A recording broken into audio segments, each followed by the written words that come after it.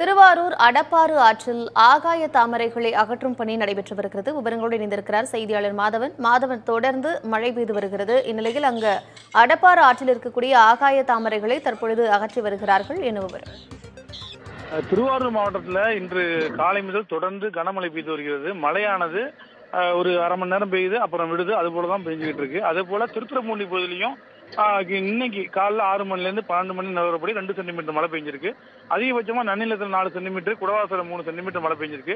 தொடர்ந்து மழையானது கனமழையா தான் பெய்யுது. ஆனா விட்டு விட்டு பெய்து வருது. ஒரு அரை மணி நேரம் கேப் அரை மணி நேரம் கேப்ல இந்த நிலையில திருவா திருத்துறைப்பூண்டி திருவாரூர் பிரதான சாலையில ஒரு வேலூருங்கிற பகுதியில பாலம் ஒன்று இருக்கு. அந்த பாலத்துல ஓடக்கூடிய ஆறு அடப்பாறு. அந்த ஆத்துல மண்டி கிடக்கக்கூடிய ஆகாய தாமரை எல்லாவற்றையும் அந்த பாலம் கண்ட்ரோல்ல உள்ள நெடுஞ்ச திருத்துறைப்பூண்டி நெடுஞ்சாலைத்துறையை சேர்ந்த ஏடி மற்றும் ஜேஇ உள்ளிட்டவங்க அங்கே நேரில் இருந்து ஆய்வு சென்று அந்த இடத்துல உள்ள அந்த ஆகாய தாமரை வெங்காய தாமரை அகற்றாங்க ஏன்னா தொடர்ந்து மழை பெய்யும்னு வானிலை ஆய்வு மையம் சொல்லியிருக்கு. மழை பெய்யும் பட்சத்துல தண்ணி சீக்கிரம் வடிஞ்சு அது அது கடல் நோக்கி போகணும் அப்படிங்கிறதுக்காக அந்த பணிகளை செஞ்சுட்டு வராங்க.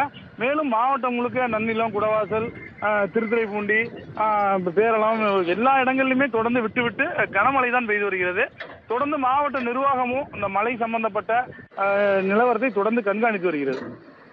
திருவாரூரில் தொடர்ந்து மழை பெய்து வருகிறது. இதனால் மக்களுடைய இயல்பு வாழ்க்கை பாதிக்கப்பட்டிருக்கிறது. மழை வழிந்தோடுவதற்கு வசதியாக அங்கு அடப்பாறு ஆற்றில் இருக்கக்கூடிய ஆகாய தாமரைகளை அகற்றும் பணியும் நடைபெற்று வருகிறது. விவரங்களை வழங்கி வைக்க நன்றி மாதிரி